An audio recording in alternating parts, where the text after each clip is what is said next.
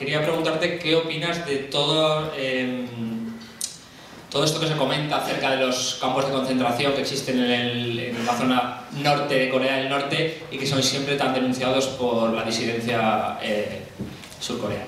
Gracias. Básicamente lo que sucede en Corea, para la poca criminalidad que hay, que es poquísima comparada con cualquier otro país, porque precisamente, como he comentado, no hay problemas relativos a la drogadicción, a los robos, etcétera, atracos, eh, nuestra política es primero la reinserción.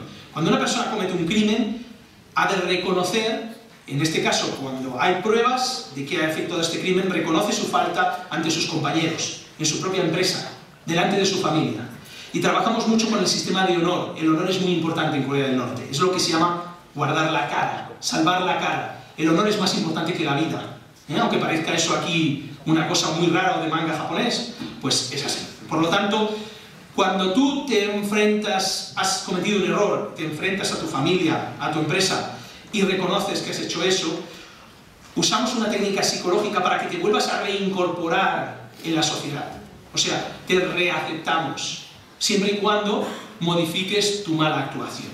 Así que creemos en la reinserción, no creemos en el castigo ¿eh? como solución.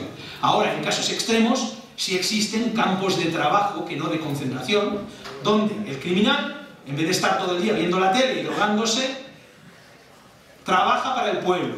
El daño que ha hecho al pueblo lo recupera y recupera la confianza del pueblo pues trabajando, haciendo una autopista como recogiendo arroz. Porque si los campesinos recogen arroz y todos comemos arroz, ¿por qué no un criminal va a ayudar en las tareas? Así que son trabajos forzados que debe cumplir en ese caso, en los casos más extremos, que no de concentración. Ahora, la mayoría, y por mi propia experiencia en dos casos que he tenido en 21 años, de dos actos contra la ley, han sido mediante reinserción. Esas personas se han reinsertado en la sociedad. En muchas ocasiones he sido un director que ha cometido la falta, era un director de una empresa estatal, ha sido quitado de esa posición de responsabilidad y ha vuelto, ha entrado en la empresa como un trabajador normal como castigo a, lo que ha hecho, pero se ha reinsertado socialmente.